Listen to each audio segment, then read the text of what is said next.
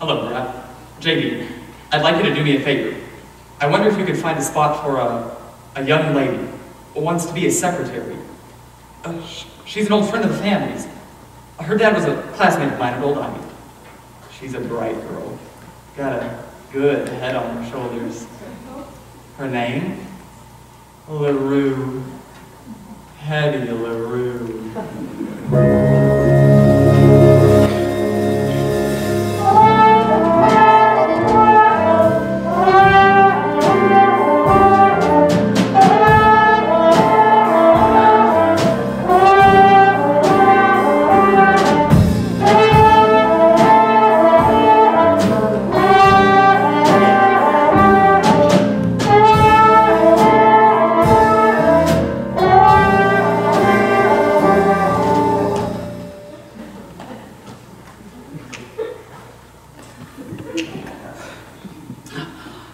I help you, honey?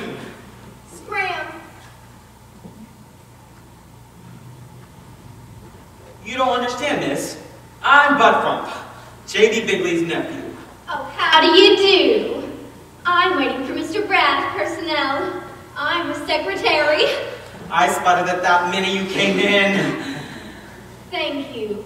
Of course, I'm new with this, and I'm just trying to figure everything out.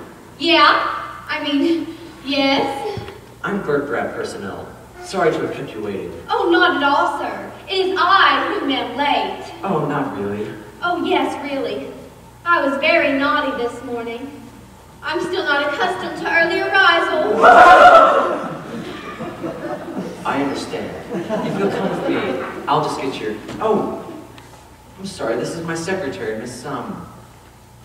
Miss Um... Smith. Smith, Miss Smith. Oh, how are you, dear? Fine, dear. Mr. Bratz. Mr. Bratt. Yes, Miss. Miss Smith. Smith, Smith. I have to go. I have to go get some new tax withholding planks. You do that, Smith. Okay. If you'll come with me, I'll get your particulars. 39, 22, 38. I'm in the pool! Boy, isn't she something? She sure is. Gentlemen, one moment, please. Say, Mr. Bratt, I need a new secretary. Me too. Oh, sure.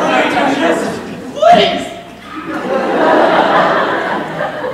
Miss LaRue will be assigned according to normal procedure as soon as her qualifications have been determined. I'd sure like to determine them. Again, I need some justice! Please, please, please! Gentlemen! Gentlemen! A secretary is not a toy, no, my boy, not a toy to fondle and dandle and playfully handle in search of some puerile joy. No, a secretary is not, definitely not, a.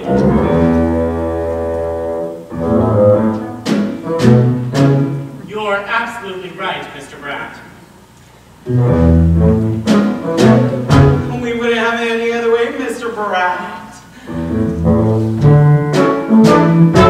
It's a company rule, Mr. Bratt.